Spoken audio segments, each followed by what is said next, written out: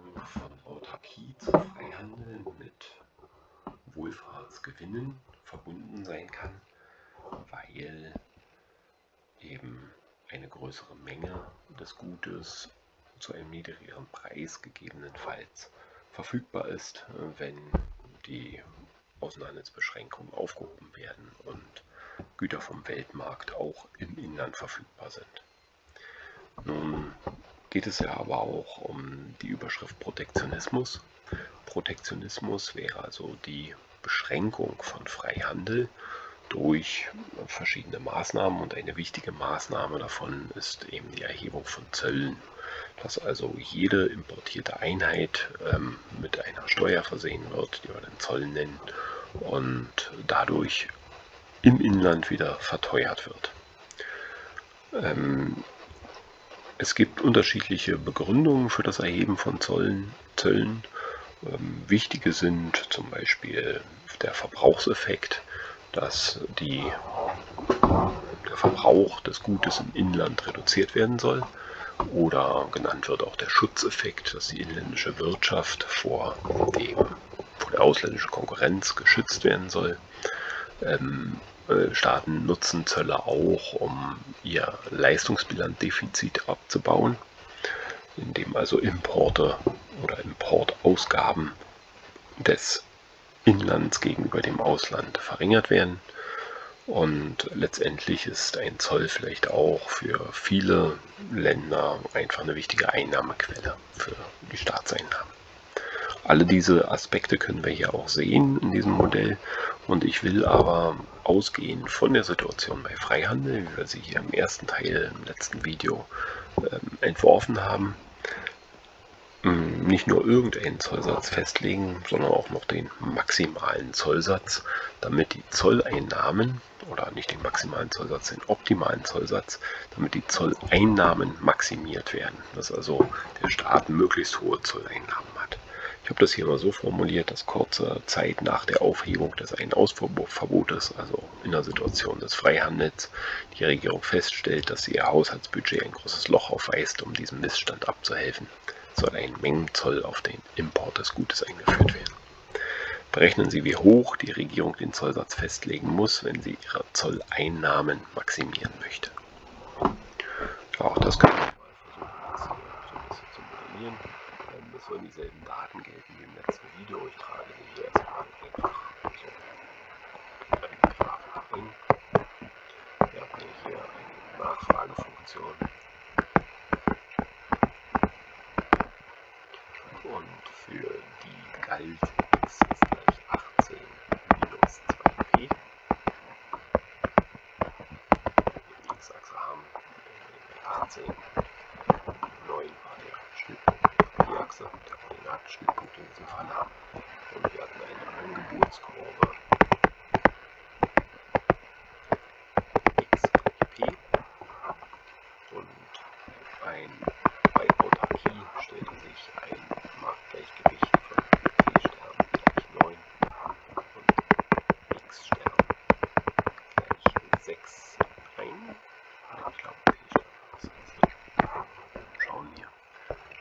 6x statt 6. Und dann haben wir hier einen Weltmarktpreis. PW gleich 2. Und der soll ja jetzt unsere Ausgangssituation darstellen, dass bei diesen Weltmarktpreisen sich dann auch im Inland durchsetzt. Im Inland noch eine Menge XA gleich 2 produziert wird.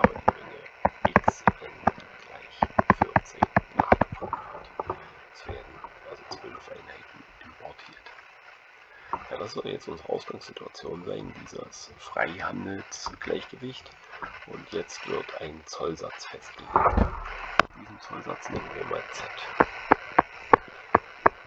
Ein Zollsatz verteuert jede Einheit des am Weltmarkt eingeführten, vom Weltmarkt eingeführten Produktes. Und das kostet dann nicht mehr PW, sondern PW plus Z. kennen wir, das ist 2. Den Zollsatz kennen wir noch nicht, den wollen wir jetzt gerade so bestimmen oder festlegen, dass die Zolleinnahmen maximiert werden. Was die Zolleinnahmen sind, können wir uns ja grafisch auch vorstellen. Das wäre ja jetzt die Differenz zwischen PW und PW plus Z.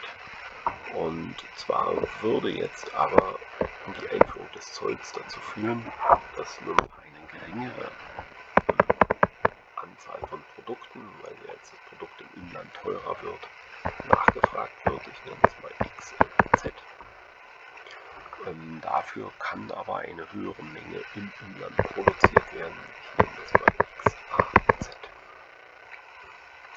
Die Importe sind jetzt nur noch die Differenz zwischen XNZ und XAZ, wäre also hier der waagerechte Strich in meinem Diagramm. Das wäre die importierte Menge. Und wenn wir die multiplizieren mit dem Zollsatz, der auf jede dieser Einheit erhoben wird, nennen wir hier diese schraffierte rote Fläche, das wären meine mal ZE.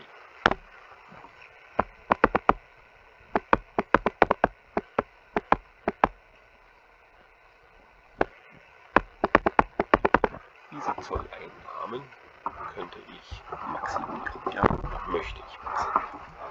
Wie können wir das ausdrücken? Wie können wir feststellen, wie hoch dieser Zollsatz jetzt sein muss? Ausgedrückt, numerisch ausgedrückt. Und ja, wir könnten diese Fläche ja berechnen als Rechtecksfläche. Die Zolleinnahmen wären also z als Höhe dieses Rechtecks mal und jetzt hätten wir xnz minus xaz. Als Breite dieses Rechtecks. Diese Fläche wollen wir maximieren durch die richtige Wahl von z. Also darunter, damit wir auch wissen, nach welcher Variable wir hier maximieren wollen.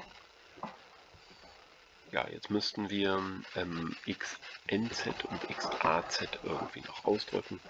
Ähm, die kennen wir ja. Das ist die nachgefragte Menge beim Preis PW plus Z. Dazu müssten wir das bloß in unsere entsprechende Nachfragefunktion einsetzen, die ja gegeben ist. Wir stehen hier noch kurz an. Ähm, xnz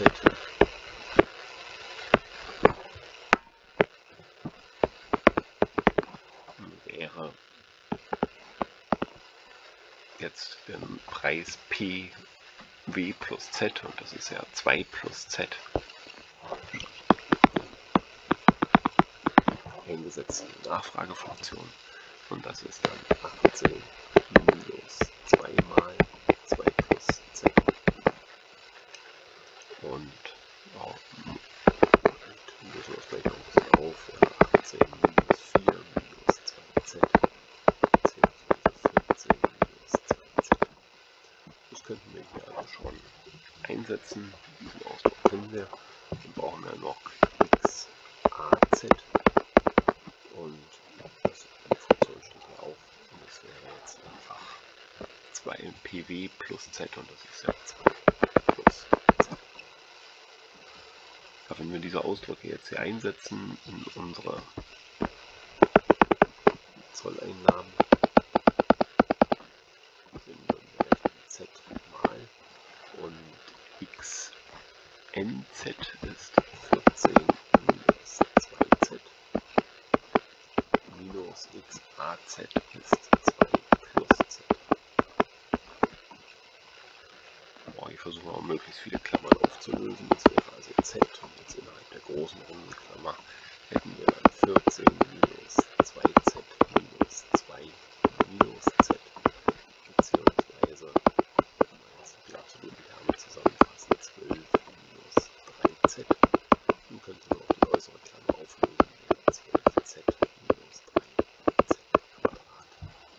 Das sind immer noch unsere Zolleinnahmen, die möchten durch die richtige Wahl von z. Das Maximum finden wir da, wo die erste Ableitung 0 ist. Man könnte sich das so vorstellen, dass die Zolleinnahmen eine Funktion des Zollsatzes sind, die so konkav gekrümmt sind. Und ähm, das Maximum liegt eben da, wo der Anstieg dieser Funktion 0 ist. Da also unseren Gipfel und das ist ja unser gesuchter Zollsatz Z-Opt sozusagen bestimmen müssen. Wir müssten also diese Funktion ZE, die wir formuliert haben, nach Z ableiten. Formulieren jetzt mal so, die ZE nach Z, das wäre die Ableitung nach Z, 12Z nach Z abgeleitet, 12 können wir jeden Summanden ableiten, dass ja Z in der Summe vorkommt und minus 3z Quadrat abgeleitet minus 6z. Das ist erstmal die erste Ableitung. Hier müssen wir jetzt in 0 setzen. Also hier z sozusagen Ableitungsmaß. In dem Moment, wo wir es 0 setzen, haben wir unseren optimalen Zollsatz, müssen wir bloß noch danach umformen. Das wäre also 6 z opt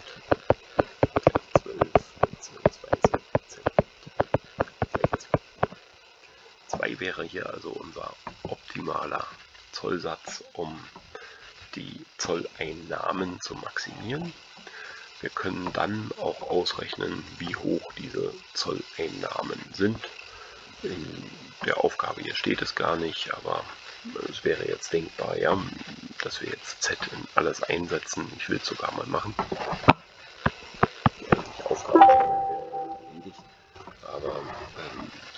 Ist einfach schön, um die Zahlen mal zu sehen, was sich jetzt hier gibt. Also unser Preis wäre jetzt nach Verzollung 4, 2 plus 2 4. Waagerechte genau in der Mitte zwischen 2 und 6. Und, und wenn ich diese 4 in meine Angebotsfunktion einsetze, gibt es ja auch 4.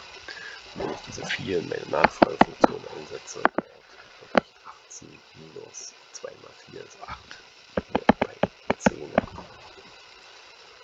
Ja, und unsere Zolleinnahmen wären dann eben die Höhe dieses Rechtecks 2 mal die jetzt bei Einführung des Zollsatzes noch importierte Menge von 10 minus 4 ist gleich 6. Das wäre also 2 mal 6 gleich 12. Das sind die maximalen Zolleinnahmen, die wir hier erzielen können.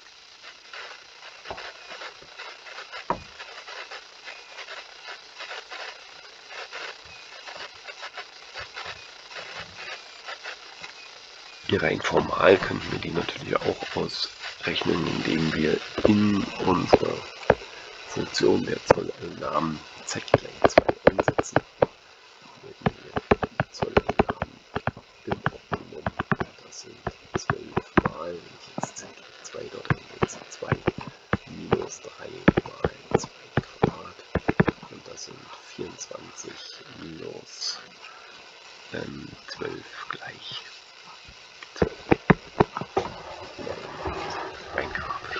ja. Ja, mehr Zolleinnahmen können nicht erzielt werden. Und wir sehen auch, dass die Zolleinnahmen sozusagen so ein Abwägungsprozess sind. Das hat man ja auch ein bisschen in der Funktion gesehen, die ich einfach so unterstellt habe. Mit zunehmendem Zollsatz steigen erstmal die Zolleinnahmen, weil ich ja, ähm, wenn ich keinen Zoll erhebe, auch keine, keine Zolleinnahmen habe. Aber wenn ich mein Z-Opt übersteige, dann bekomme ich zwar pro importierte Einheit immer noch ähm, einen höheren Zollsatz, aber die Importe gehen immer weiter zurück, bis letztendlich kein Gut mehr importiert wird, je teurer die Auslandsgüter werden und die Zolleinnahmen wieder null werden.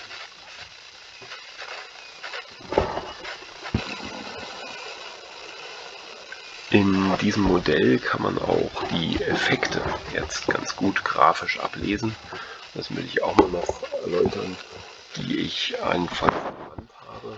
Also die Erhebung von Zollen wird insbesondere mit einigen Effekten in Zusammenhang gebracht. Der erste Effekt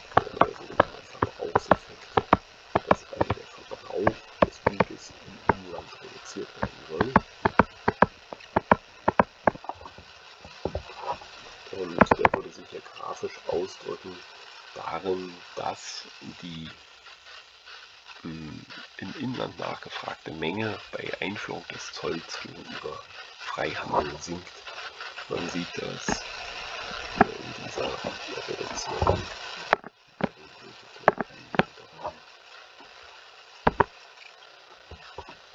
Ich will jetzt mal die Regeln ein bisschen tiefer machen. So, erste Feldwerte, Außenfeld. Ähm, die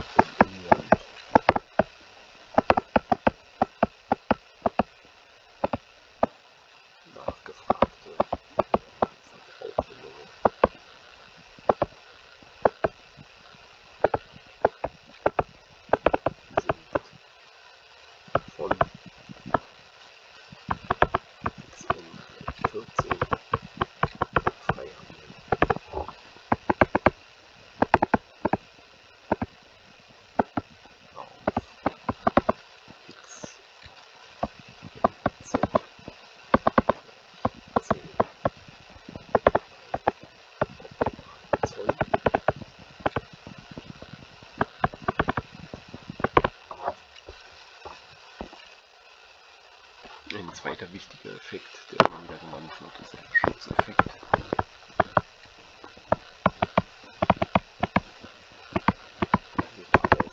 Prinzip, dass die Produktion im Inland geschützt werden soll. Und erkennen wir daran, dass die inländische Produktion steigt von XA auf XAZ.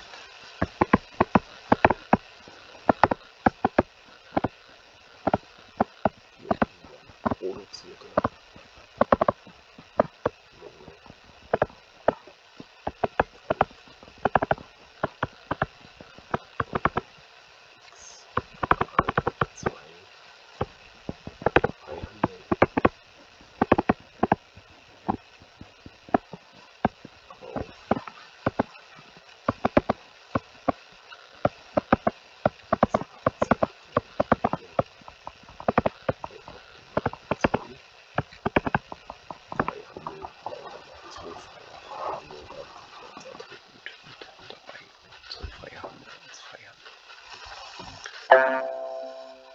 Ähm, es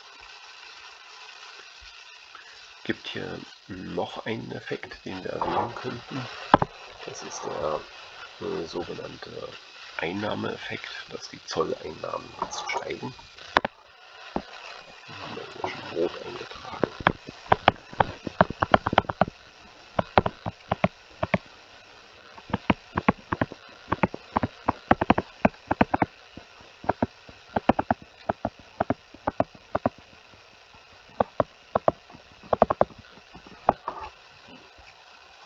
Informationen die ein Modell darstellten, um den Zoll überhaupt einzuführen. Und schließlich gibt es noch einen vierten Effekt, der häufig genannt wird. Das ist der sogenannte Leistungsbilanzeffekt.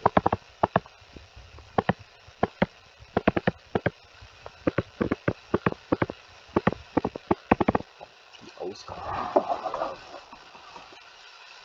für Importe, die würden jetzt hier sinken, und zwar hatten wir vorher bei Freihandel hier im Umfang von xn-xa, Das war die Importe bei Freihandel.